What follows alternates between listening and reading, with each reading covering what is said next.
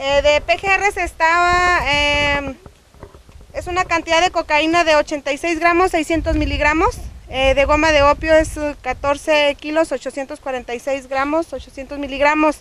Marihuana son 2.414 kilos con 301 kilogramos.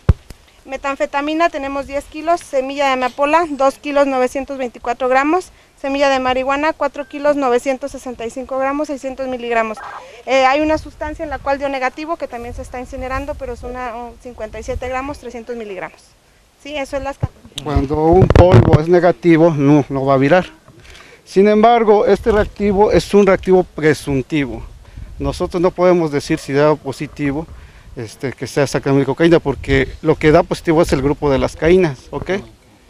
Lidocaína, procaína, butacaína también nos van a dar positivo, pero por eso nosotros tenemos que hacer otro examen que se llama espectrofotometría de infrarrojo, ¿ok?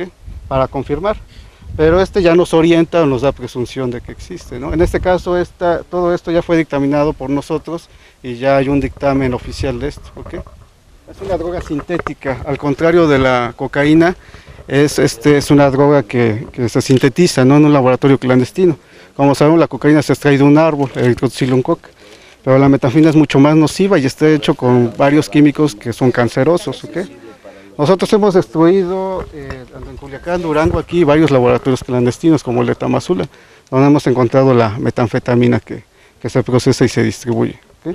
Eh, el adicto lo, lo- lo usa más porque el efecto es mayor duradero, mientras que la cocaína el efecto es menor, aparte que la cocaína es más cara, entonces este, por eso mismo la que mayor toxicidad produce ahorita. Sí, porque ¿La está hecha, sí, está hecha es como de comentas una droga sintética. Tanto la marihuana, el opio, porque son, drogas naturales que se extraen, ¿no? sí. De fuentes naturales. En el caso de la metanfina, ¿no? todas esas Coyote.